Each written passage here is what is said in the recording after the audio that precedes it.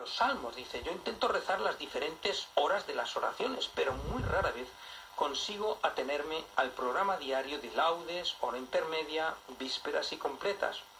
Y eso que hoy día resulta muy fácil acceder a la liturgia de las horas a través de Internet.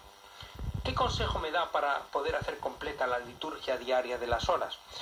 Bueno, pues bien, claro, eh, esto mm, no se puede dar una respuesta así general, porque nuestras vidas son muy distintas. No es lo mismo cómo puede rezar completa la liturgia de las horas un monje eh, que lo tiene como parte mm, fundamental de, su vida de monje, o un sacerdote, un religioso religiosa de vida activa, que también tenemos un compromiso de rezar la liturgia de las horas, pero adaptándonos también a que tenemos o estamos viviendo en, en medio de las actividades del mundo, o un laico, de laico dependerá pues si es, tiene un trabajo o está ya jubilado o está en el paro, si tiene obligaciones familiares o sociales, otro tipo de compromisos.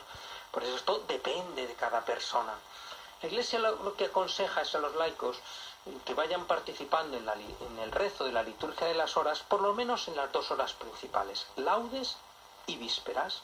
Pues los laudes por la mañana, pues lo mejor es al levantarnos, claro, pues, pues levantarnos 15 minutos antes y nada más levantarnos, rezar los laudes. Y las vísperas, pues ahí depende un poco de la vida que lleve cada uno. Si uno reza completas, pues en el último momento, momento de